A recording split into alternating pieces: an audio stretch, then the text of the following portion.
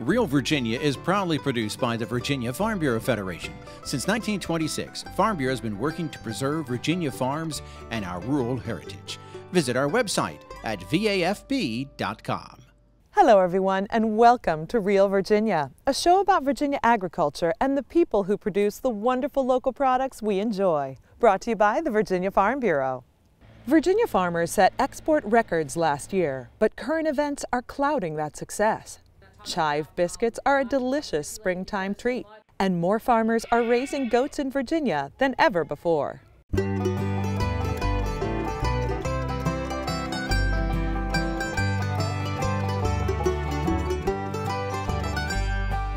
Home will always be Virginia, between the Blue Ridge and Chesapeake Bay,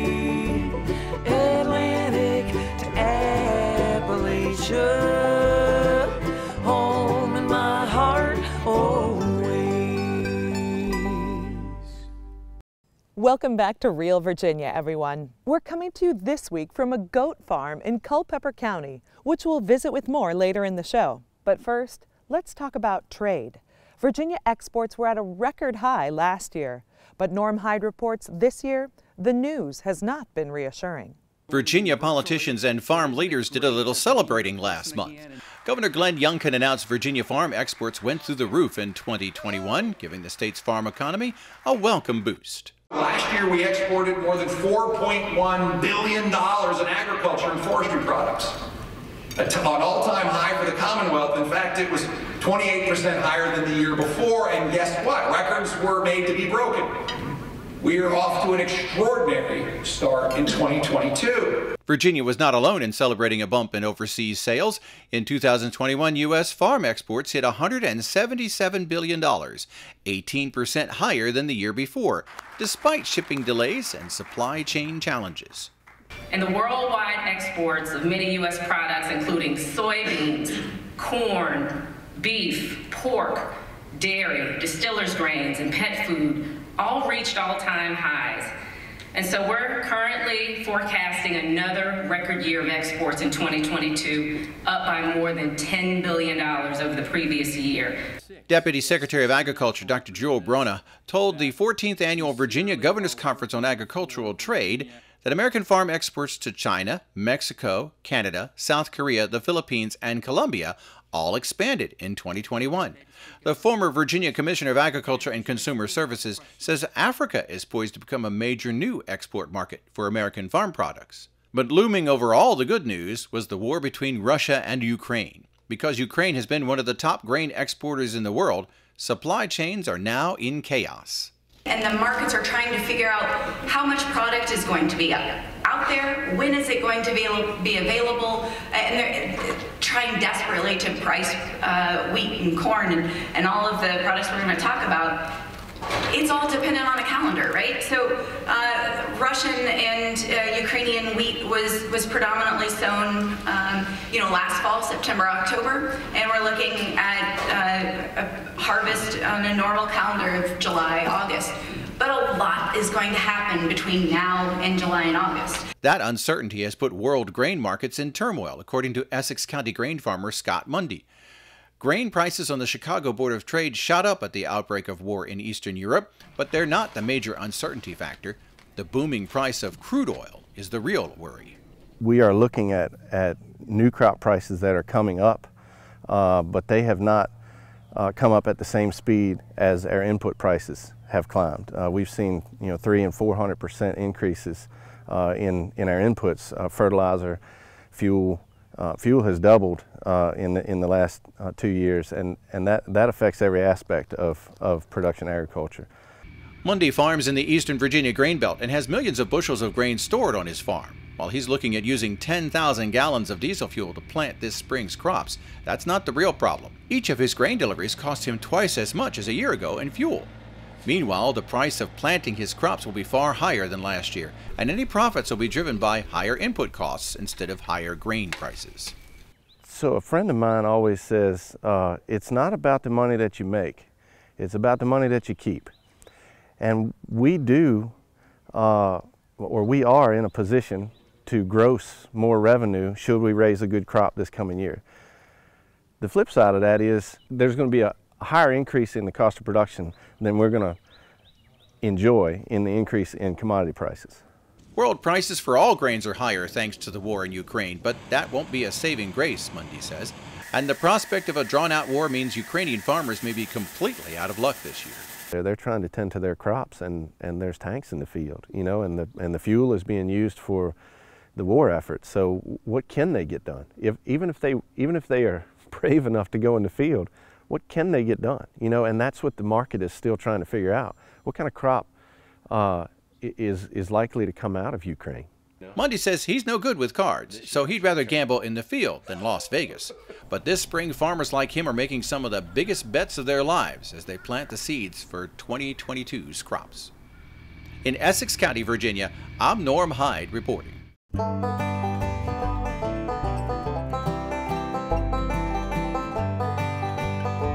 Virginia farmers have been shipping products overseas since 1614, when the first tobacco crop was sent back to England. Today, Virginia has one of the finest deepwater ports on the East Coast, capable of accepting the largest cargo container ships afloat. And the port has doubled its shipping container capacity in the past year to provide even more export and import opportunities. Additional rail service has been added to the port, and Perdue Agribusiness is expanding its grain handling facilities in Norfolk. Soybeans, tobacco, hardwood timber, and grains are the top farm export products from the Old Dominion.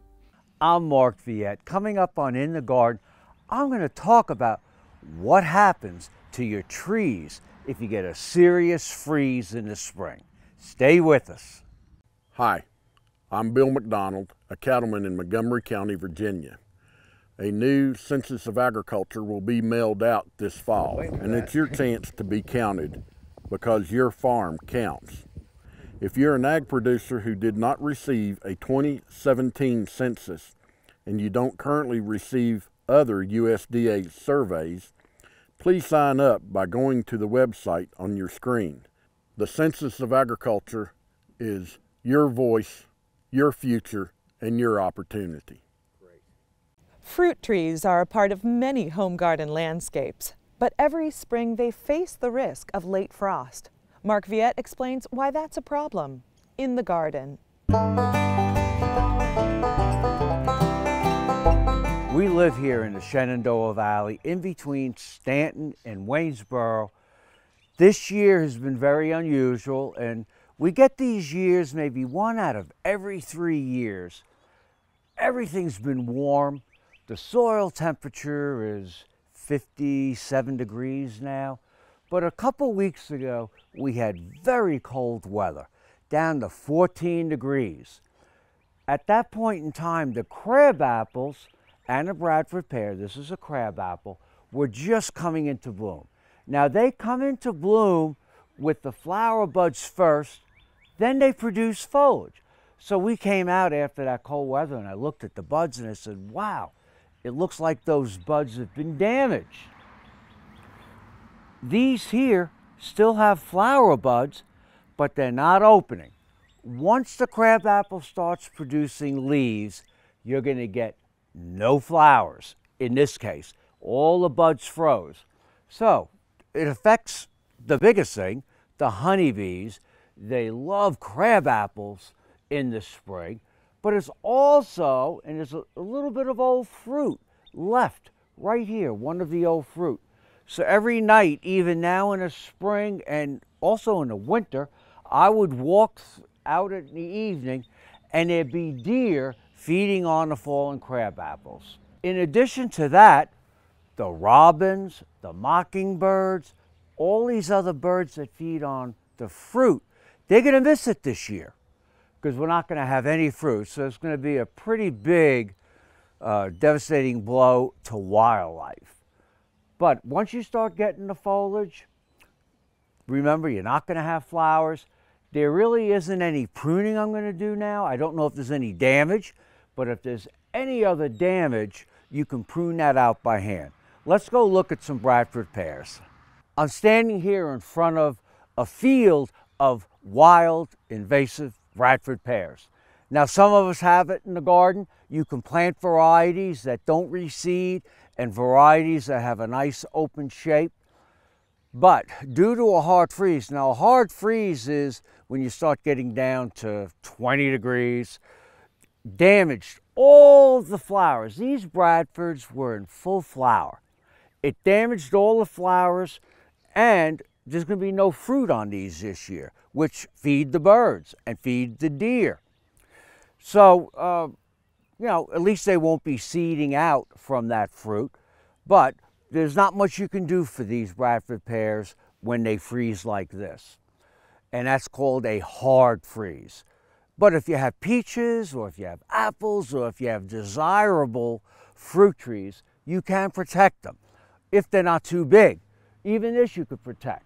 You can go ahead and cover it with the sheet and put a light sheet, you don't want anything heavy, and then tie it at the base of the tree. And then you're gonna put an incandescent light bulb, like a 100 watt light bulb, not an LED light. You want something that gives off heat. And that will bring the temperature inside where your peaches and other fruit trees will not freeze. The one redeeming quality of Bradford's is that, and I see a couple here, is they're a great plant that attracts pollinators. And usually the Bradford pear is one of the few things in bloom that feed the honeybees. There'll be thousands of honeybees on each tree. But with the damage we experience, which is not common, one out of every couple years, there is no food for the honeybees. I'm Mark Viette. Join me next time in the garden. For more garden tips, go to inthegardenradio.com. Hi, I'm Chef Tammy Brawley from the Green Kitchen. Coming up on Heart of the Home, chive biscuits with country ham and Dijon mustard. We hope you'll stay with us. And now, a sneak peek into a day in the life of a Virginia dairy cow. They get their day started. They have some lunch. Get some exercise. Spend time with their friends. And then end their day with dairy sweet dreams. Real dairy, real life, real delicious. Homemade biscuits are always a treat. Chef Tammy Brawley shows us how to add a unique herb to give them some punch in the heart of the home. Hi, I'm Chef Tammy Brawley from the Green Kitchen, and today we're here to make some delicious chive biscuits with Dijon mustard and country ham. We're going to start out with two cups of all-purpose flour into our KitchenAid mixer. It also has a tablespoon of baking powder, it has a tablespoon of sugar, and a little bit of salt. We're going to just kind of blend that up to start. Now you want to have cold butter already ready and diced. And you're going to want to slowly start turning the mixer up in speed. And it is a whole stick of butter um, or a quarter of a pound to two cups of flour. We're going to turn the speed up a little bit more, get it nice and mixed. Now I'm going to turn it down because I'm coming back to add my liquid. You wouldn't want to add liquid on the high speed for obvious reasons. We're going to go ahead and we're going to add about three quarters of a cup of our um, half and half. Let that get nice and mixed. I am going to go ahead and turn this off for a moment because you want to have some chives waiting and you want to go ahead and get those nice and chopped up. Now this is a, certainly a full package. You don't need a full package. You can use as many as you'd like. And it, you know what? If you're not an onion fan, then you could certainly nix the chives and maybe do a different herb if you'd like. But I do think that a green adds a nice little texture to it. All right, I think that's probably about enough. All right, I'm going to turn my mixer back on. So now I'm going to add the chives to it and let it finish mixing.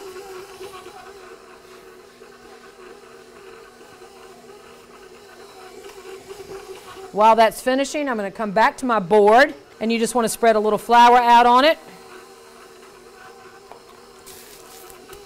Our mix is nicely done. So now we're going to take it out of our bowl.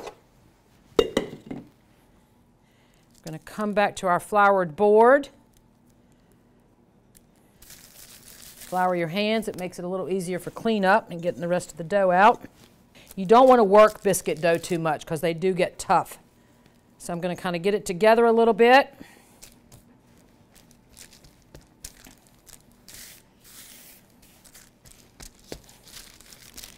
You want this to be about maybe an inch, maybe three quarters of an inch. I do like them to be a little high when they cook. They look prettier on a platter. You can see those nice delicious green chives in there. All right, I think that looks beautiful, nice and even. Now we're going to get a, a, biscuit cutter here. I've got one that's probably about two inches or so. Again, if you want to use bigger, that's totally fine. All right, so we're going to cut our biscuits out. Push them out a little bit. All right, we'll move these to our parchment lined tray uh, waiting on the side.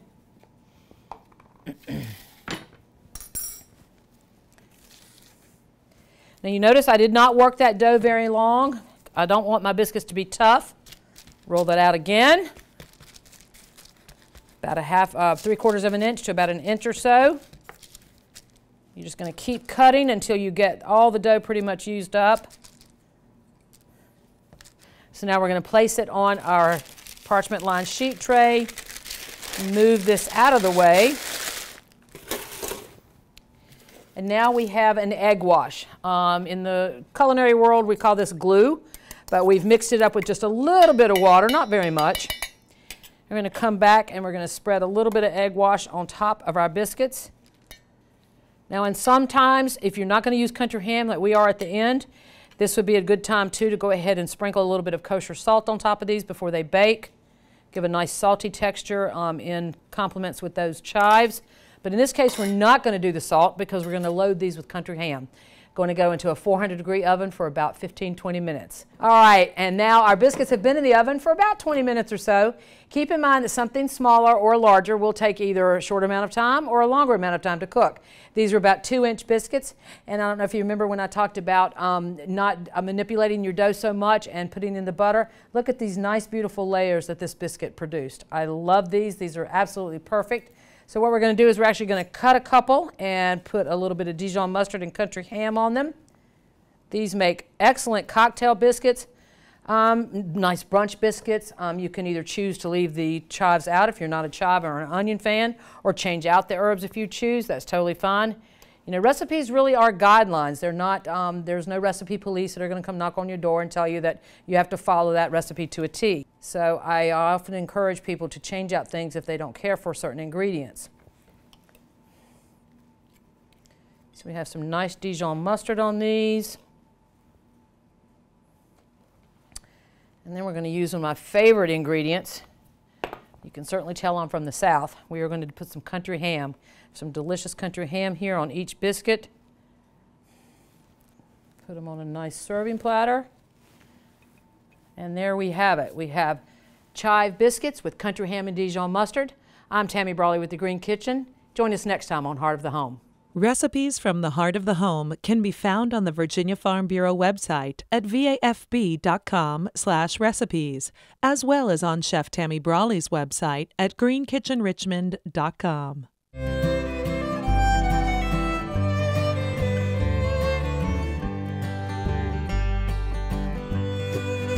Most bakers prefer soft red winter wheat as the base for their biscuit flour. That's the class of wheat most commonly raised as a winter crop in Virginia. In 2019, 105,000 acres of winter wheat was harvested in the Old Dominion with a cash value of $32.5 million. Soft red wheat is lower in protein than typical bread flour, but not as low as cake flour. Many bakers use a combination of all-purpose flour and cake flour to end up with an extra flaky biscuit. The other vital ingredient is fat, usually shortening or cold butter that's literally chopped into the biscuit dough. Goats are a popular livestock choice for farmers with a small amount of land. Barry Ridgway reports more Virginia farmers are raising goats for meat and milk and as show animals. Goats are smaller, more affordable, and easier livestock to manage than cattle for many Virginia producers, and some goats seem to have individual personalities that can make them feel like part of the family. They make relatively good pets. People raise bottle kids, and they make great companions. They're more like a dog than, than, than lambs, would, for example. Their personalities are really crazy, and they all have different personalities. Some of them will come out as sweet and nice and calm as you can imagine, and then others will come out buck wild. Farmers and researchers alike say a growing interest in raising goats stems from the growing ethnic markets for goat meat in the U.S. There were almost 49,000 goats on 3,500 Virginia farms in 2017, 125 more farms than five years earlier. Outside of the United States, goat meat is the largest consumed meat in the world. It is catching up in popularity in the United States with the ethnicity diversity changing in our country. So it's a good thing for a goat farmer because uh, it raises value and uh, it gets more people interested in actually goats. Goat milk is a popular alternative drink for some consumers. It's also the base for a number of processed products like cheese, soaps, and skincare products. And a few producers have started their own goat landscaping business to help property owners clear difficult brush without machines or chemicals. Those goats will come through and there'll be nothing left from as high as they can reach down to the ground. It's green. They'll do poison ivy or thistles or anything like that. It's like candy. And as you can see on social media, some people are even doing yoga with goats. So goats are very useful animals. But what are the drawbacks to owning goats? First, while goats love to forage for plants, they require a special diet, and they don't just eat anything. It's a misconception of the old cartoons to where you see goats up eating car seats and tin cans and all this stuff. That's, that's not so. Goats really, we always joke that a goat could stump its toe and fall over dead. So it's not like they're rugged and can eat anything. Some breeds of goats are very susceptible to parasites, and owners need to know the warning signs of this problem. Wildeus says encouraging the animals to graze higher than six inches will help prevent some parasite problems. That's usually not a problem for a goat. They climb, they jump on propane tanks, and they go through and cross fences. They're climbers a little bit, so they're a lot more agile than most of the other forms of livestock that you have. Fencing is important, not only to keep the goats in, but also to keep predators out. Having guard dogs is also a good strategy against predators. Goats are also a popular choice for youth livestock programs. High school student Summer Kuntz has been working with her father to care for goats most of her life. She's learned valuable life lessons through the Culpeper County 4 H program. Oh my gosh, I've learned so much. I've learned about responsibility and commitment, and you know, I've learned so many things that kind of wants to get me into my career of being a veterinarian when I get older. It may be tempting to buy a few baby goats to start your own herd, but like any livestock operation, it pays to have a business plan first. You really have to start at the tail end of the business and see how are you going to market your animal? What's, what customer group are you targeting? Are you going to go to the ethnic market? And then what ethnic market are you going to go to? Do not put the cart before the horse, which so many of us usually do. You end up buying a couple goats and you bring them home and you're not ready with your pens or whatever type of shelter you're going to have for them. Make sure that you can be committed and that you have the time to take care of them and it's not something that you'll just throw in your backyard and say, oh, it'll be fine. Because they actually, they need so much work. The good news is if you're a new goat owner and have questions, there's help available. The goat community does seem to be very willing to share information and they're very polite. You hardly ever run across anybody that, uh, that isn't willing to share their story with you.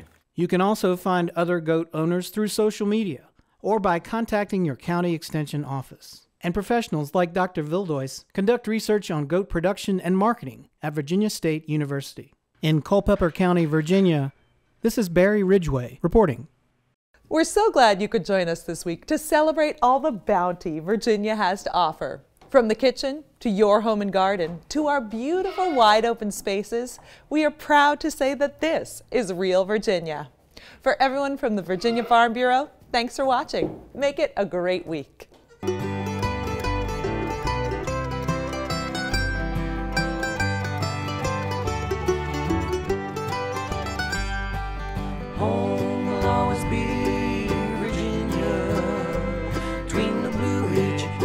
Chesapeake Bay, Atlantic to Appalachia, home in my heart always.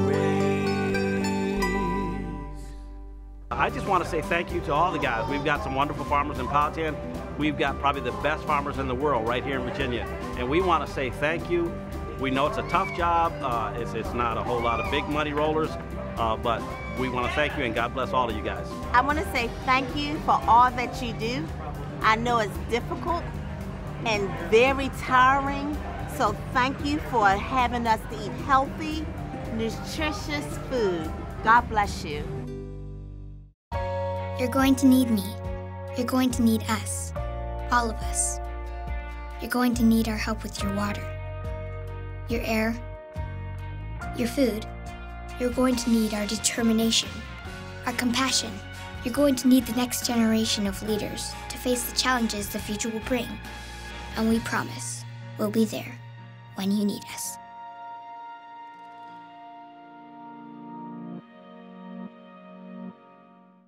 Thank you so much because we really love the food and we know it's hard to grow it.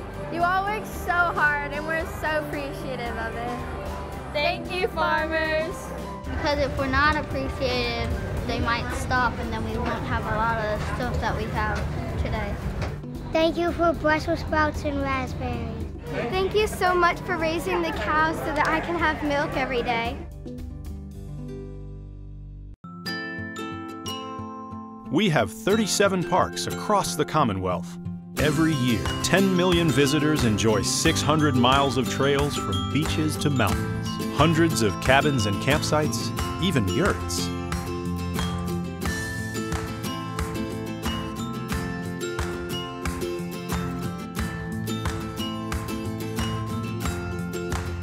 We are Virginia State Parks. Those who struggle each and every single day just to make those ends meet, but still continue in this industry are the true role models for those of us who continue to grow in the agriculture industry, especially those of us in FFA and 4-H. We youth organizations look up to you as you're the leaders of this industry, and we learn and we thank you for all that you do to help continue to support us. Thank you, Forward. Spending time outdoors has never felt more valuable, whether it's exploring nature or relaxing in your yard. Let's do it responsibly. Before going out, check for closures and fire restrictions. Practice social distancing, even when outside and on the trail. Back at home, if burning yard debris, keep your pile small. And no matter where you are, be sure to properly extinguish any outdoor fire. Drown, stir, drown, feel. We're all in this together. Help keep our safe places safe.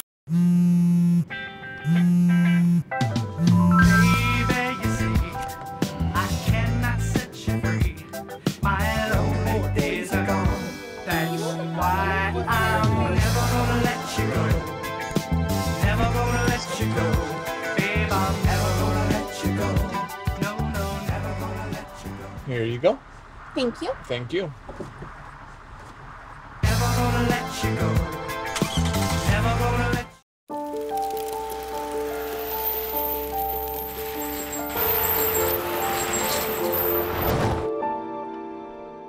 Did you know dragging chains can spark a wildfire? Only you can prevent wildfires.